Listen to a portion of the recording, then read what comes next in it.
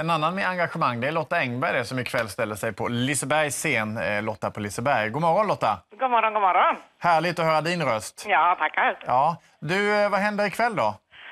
Ja, vad händer ikväll? Alltså, vi intar Lisebergs scen igen. Ännu en sommar alltså. Det, det är fantastiskt. Jag längtar efter alla artister som kommer ikväll.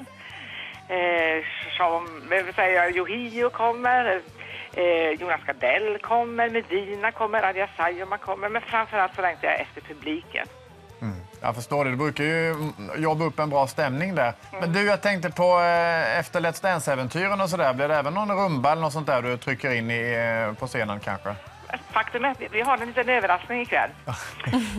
Jasmine Kara är med också, så vi ska hitta på något där. Kommer, kommer på slutet. Härligt, det låter bra det.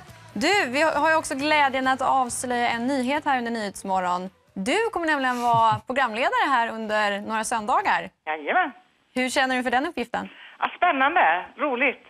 Jag, jag är en, en trogen Nyhetsmorgon-tittare så att, att jag har följt i många, många år och det ska bli jätteroligt att få sitta där. Då vet du vilka misstag du inte ska göra då, eller hur? Men du, det vi är, van, jätteintressant. vi är vana att se på kvällarna. Hur är det med morgonhumöret? Nej, jag är väldigt morgonpigg. Vad bra. Härligt. Ja.